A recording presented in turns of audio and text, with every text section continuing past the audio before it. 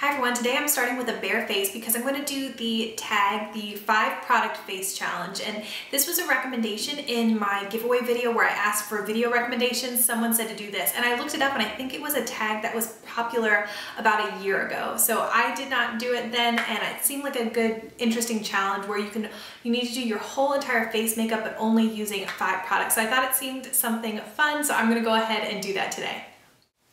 The first product I'm using is from Laura Mercier and this is the mineral powder and I'm in the shade Soft Porcelain. And I'm going to take that on my Sephora Professional mineral powder brush and just buff it all into my skin.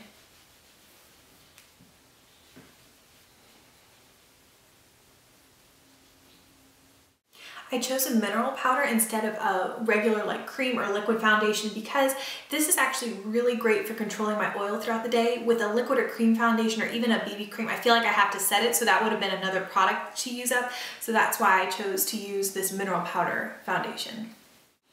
Instead of using a concealer, I'm going to continue to use the um, Laura Mercier powder. Now I'm just going to use it on a concealer brush, and this is one from Bare Minerals.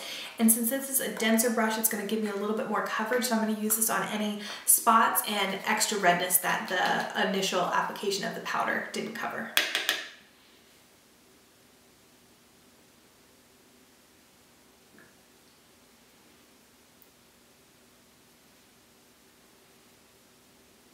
I'm gonna make sure to take this around my nose and cover the redness here.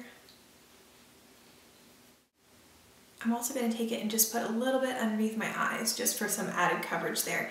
And the great thing about this foundation is that it really doesn't cake up at all. And I have some other, um, I bought the Bare Minerals, the pressed foundation to test out and I'm really not liking that at all. It really um, just looks cakey and just kind of wears off funny. But this one from Laura Mercier is just really beautiful. It really helps, like I mentioned, with oil control and it I don't, I don't find it disappearing throughout the day. All right, that is the base done. Moving on to some color. For blush, I'm gonna use MAC's Gingerly. And I chose this with a lot of consideration because it is gonna serve a lot of different purposes for me. So I'm gonna first just apply it to my cheeks. And this is the Sephora Precision Blush Brush.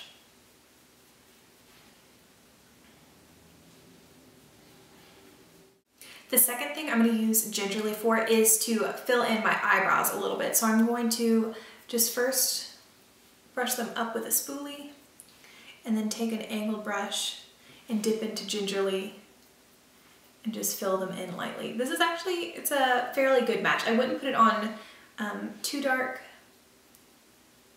but just for, you know, just a light little, just filling in and making them um, not look patchy, gingerly works fine. Moving on to my eyes, I'm going to use a little bit more of the Laura Mercier Mineral Powder and I'm going to take it on a medium angled shading brush. And I'm going to apply this pretty liberally all over my lid, all the way up to my brow. And this is going to brighten my eyelid and it's also going to mask any discoloration and veining.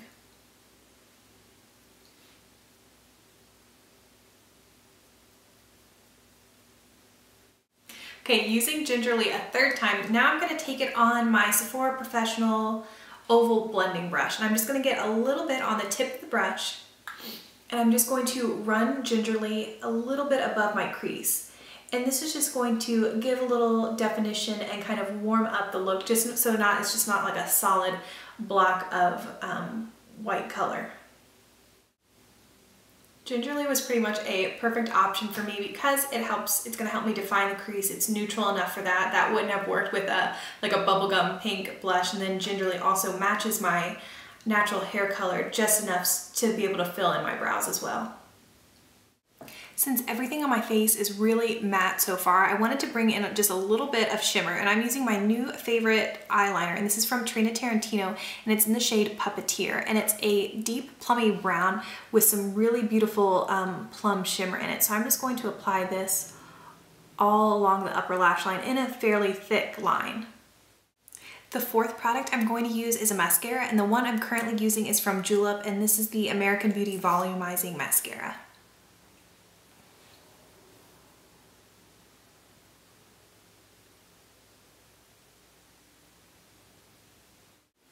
Sorry to move locations. The sun started setting and it was coming in too brightly over in the window. So I've moved over to the living room. So As a recap, I've used the um, Laura Mercier powder all over my face and used that as my concealer as well. I used that as kind of like the base for my eyeshadow.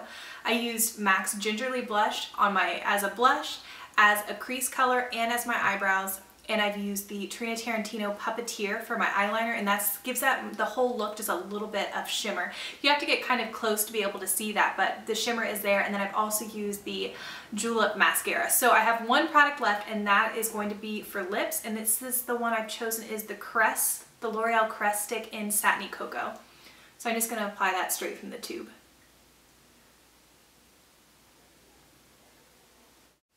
All right, this is my completed five product face and it was a lot of fun to do. I'm really glad that I figured out Gingerly early on because that was a tremendous help and it let me have mascara, which was important. I knew I needed mascara and something on my lips, so Gingerly was a good product to have. I would love to hear what five products you would use. I'm not gonna tag anybody because this is such an old tag. I'm not really sure who has done it and who has not, but if you would like to do it, it was fun. I would recommend it. And if you don't make videos and you would like to leave it down in the comment section, I would love to read what five products you would use. Thanks as always for watching and I will see you in my next video.